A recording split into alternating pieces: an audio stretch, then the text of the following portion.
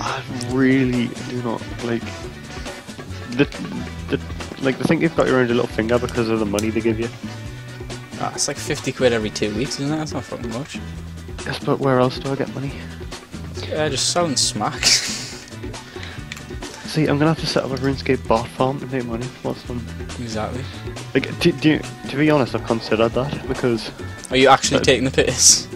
No, because it actually does make more money than like a minimum wage job. So Does it?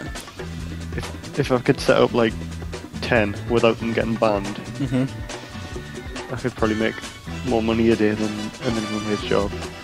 If I could sell it all without being banned, I'd probably get banned though. I'd probably get banned after a day. So. What? Why? Why would you do that?